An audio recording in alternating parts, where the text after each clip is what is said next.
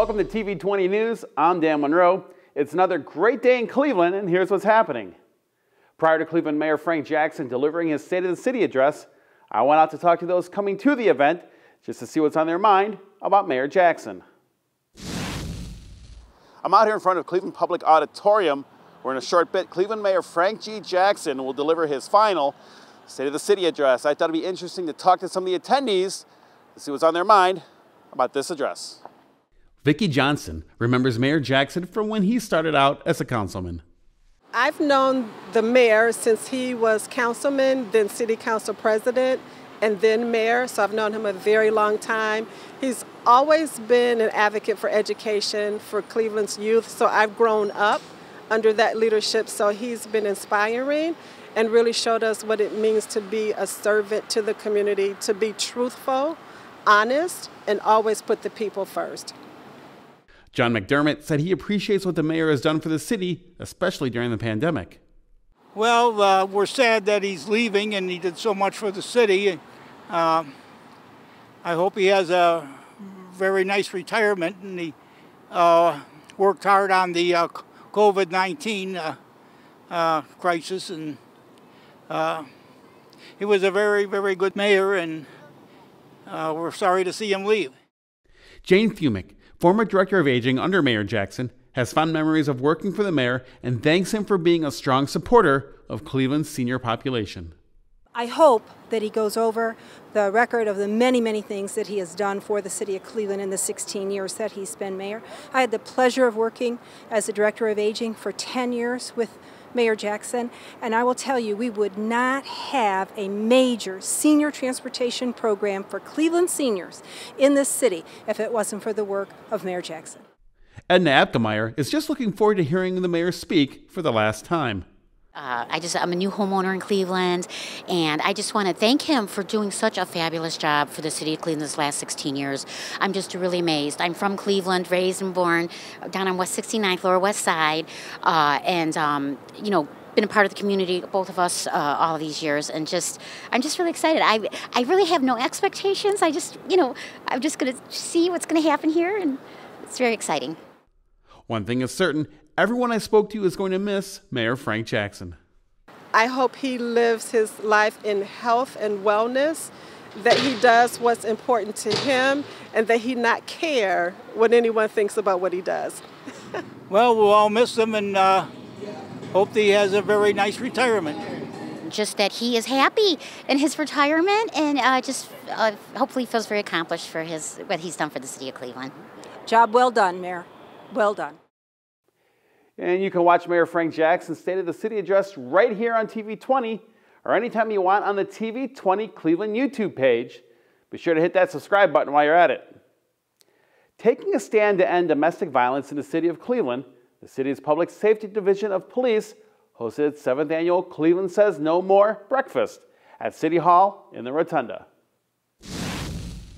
Good morning, folks. I would like to welcome you uh, to our Domestic Violence Awareness Month breakfast. This is very important to our community, very important to Northeast Ohio, and you, do, you guys do a great job in supporting it, and we appreciate that. And the only way we get things done here in Northeast Ohio is through partnerships. And the people in this room understand that, and that's why I appreciate you coming. One of the city's biggest partners for this initiative is the Cleveland Browns, and they have been there since the beginning. When I was talking with Cassandra, um, we were reflecting that it's been seven years since Cleveland Says No More kicked off, and seven years goes fast. And when you think of those seven years, uh, we'd be remiss if we didn't think about the victims of the last seven years, but then also those lives that we've changed in the last seven years, that we've provided hope and promise to. And I think we can keep doing that. I know we will keep doing that, and for that, I, I really appreciate each and every one of you. Cleveland Says No More relies on resources from community partners to help victims in need. Our biggest resource that we have this year, and Journey has just launched a resource for the public, is housing. That's extremely important that if home is not safe for you, to make sure that you can get to a place where you can get new housing and safe housing. We also brought in and had on the back of our book Forbes House, which is in Lake County, who does the same thing in making sure women, men, and children are safe at home. And so it's been seven years. It's been phenomenal. Um, I, I, I, I, don't want to cry, so that's why I'm, I'm, I'm speaking, but it's been, it's been wonderful to see the outpouring of support across the city of Cleveland, and especially as a city employee, having your employer say yes to everything that you wanted to do. It's been phenomenal that no one has ever told me no during this month, and I am so grateful for that. The chiefs and officers of Cleveland's police headquarters joined together in prayer to celebrate the second annual Faith and Blue. I pray for their relationships and their families and the challenges that they're trying to navigate in their own personal life. God, would you show yourself faithful on their behalf?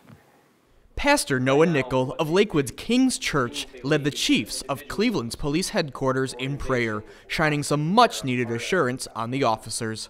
When you have professions like police officers that get to see the best but also the worst side of humanity and some of the most tragic things, you can only imagine what it does to an individual's heart and their mind. So to be able to be here, to pray over them, to encourage, to love on them is a, is a huge honor.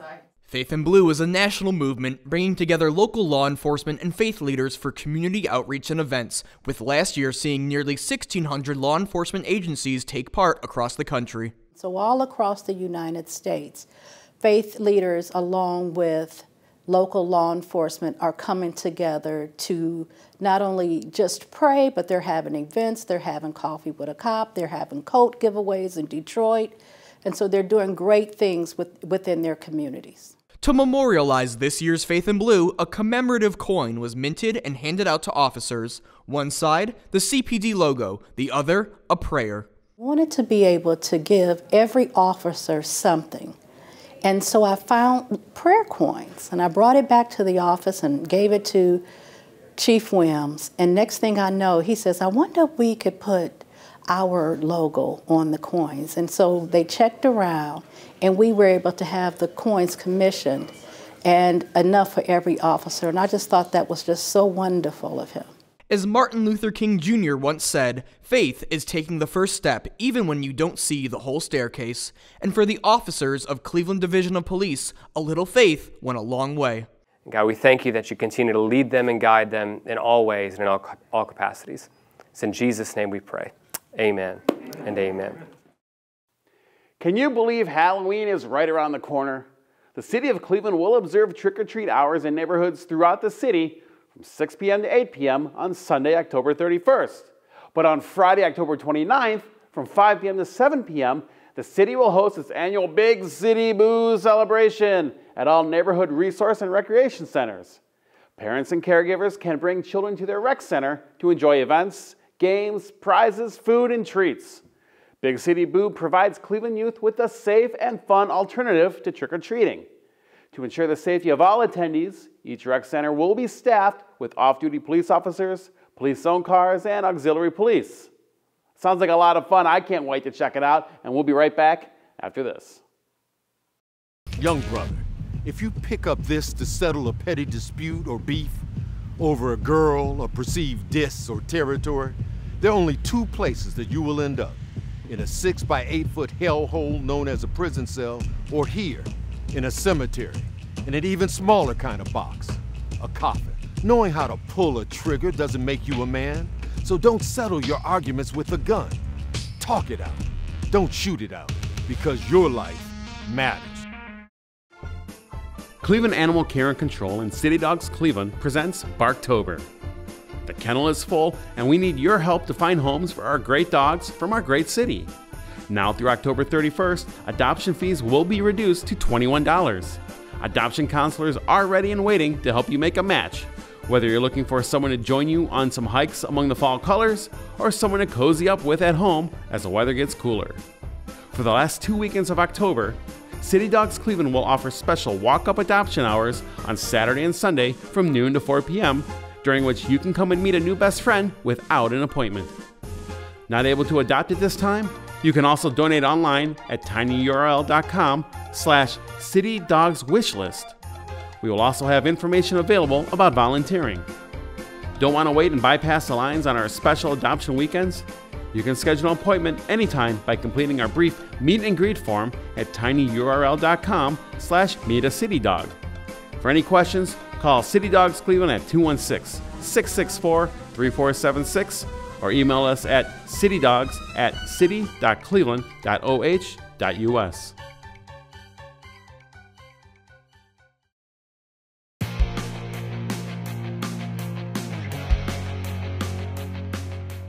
City Council held its regular weekly meeting on October 11th.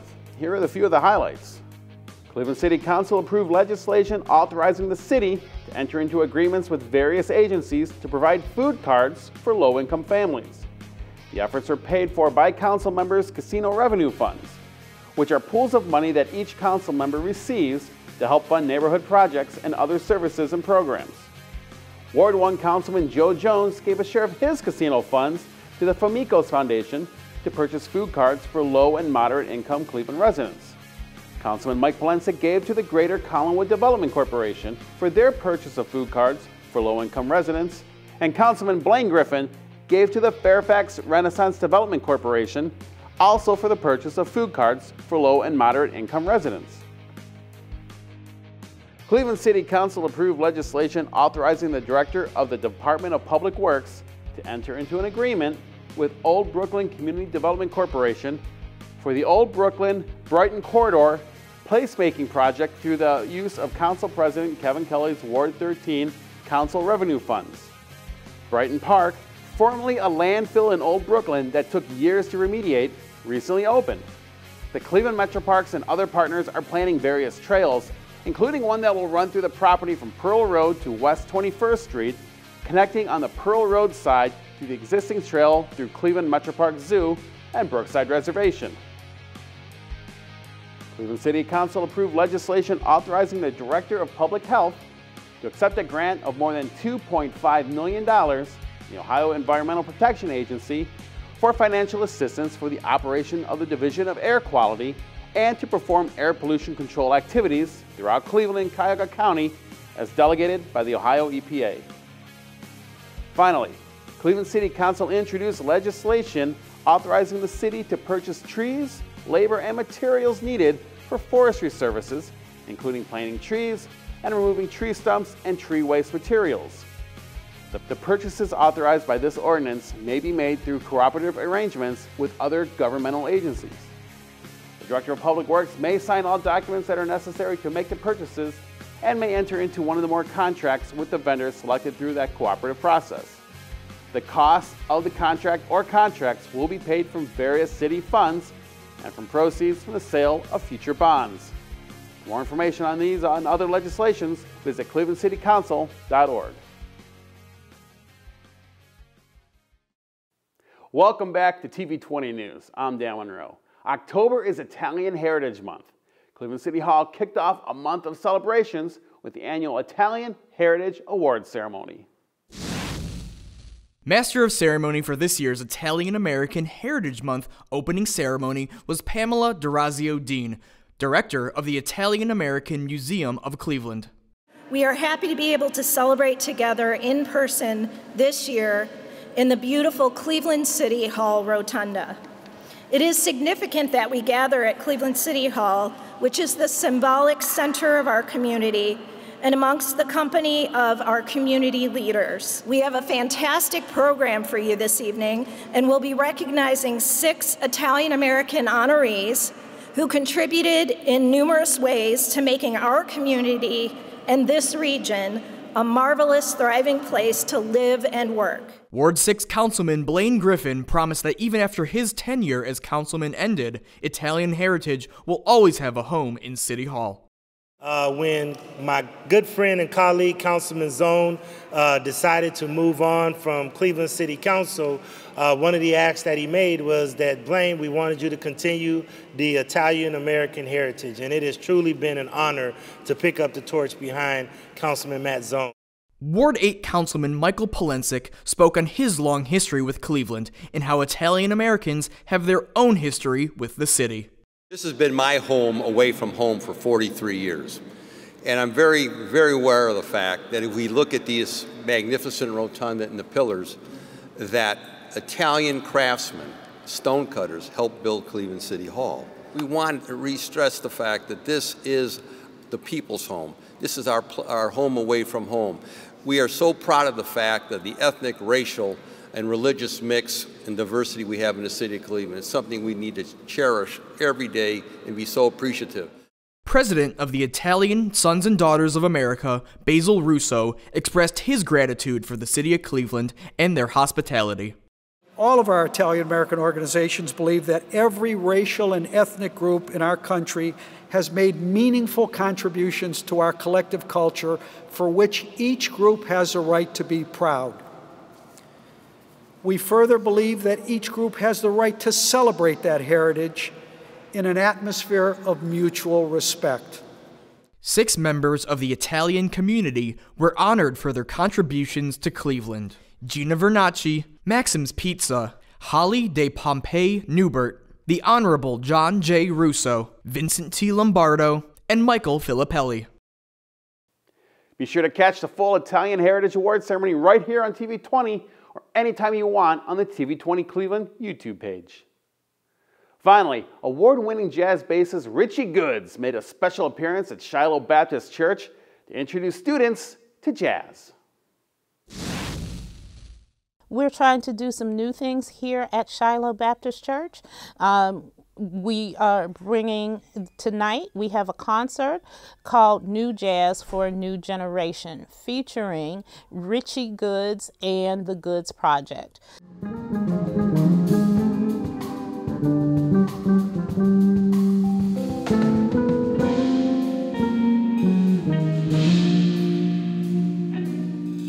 He is here um, through a grant through uh, through an organization called Jazz Roads, um, which is connected with many foundations, including the Mellon Foundation.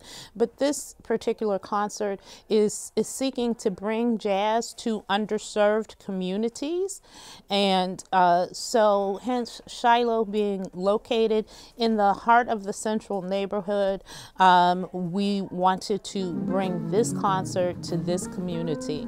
This concert is geared to students to introduce them to the genre and the beauty of jazz.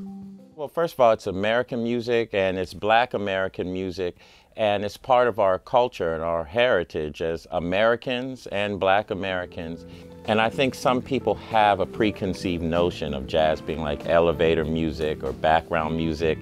And there is jazz that is like that but not all. There's a younger generation. Like I have some young jazz, some young musicians with me today, and when you hear them play, you realize they're on a, another, a new kind of jazz. You know that is more accessible to to younger people. Richie has his own brand of jazz that is fresh and funky, and his slogan is, "This is not your father's jazz." I've studied the jazz of the 30s, 40s, 50s, 60s, Miles Davis, Charlie Parker, John Coltrane, and I love that music. And all of us in my band, we've studied that music. But now we want to take the music somewhere else. And like I was saying, make it more accessible to, um, to young people, to black people, um, to um, the urban culture, something people can bop their head to and, and just really feel music touches the soul of people. And so this is what part of when we say real and relevant ministry that matters. So we want to touch the community, we want to bless the community as a as an institution here. Richie also hopes to convert some adults who may not have an appreciation for jazz as well. In my band, we say a prayer before every concert we do and everything that our music be uplifting to people. And that's what we want to do with our music is uplift people and make people feel good. And I think this pandemic has shown that um, people need music in their lives. I think it's awesome that um, this Shiloh Baptist would have uh, a jazz group here. I think that's awesome. For more information on Richie Goods and the Goods Project, visit richiegoods.com. TV20 is streaming live 24 7. Visit TV20Cleveland.com to see our live feed and more. Stay connected with TV20 wherever you go by liking and following us on Facebook and Twitter. And be sure to subscribe to our YouTube page to watch our numerous programs. The City of Cleveland is now releasing general news and real time updates via their blog and social media site. Be sure to follow the City of Cleveland on Facebook and Twitter and subscribe to their blog at clecityhall.com. Thanks for watching. I'm Dan Monroe. Be sure to stay tuned for more on TV 20. We are Cleveland.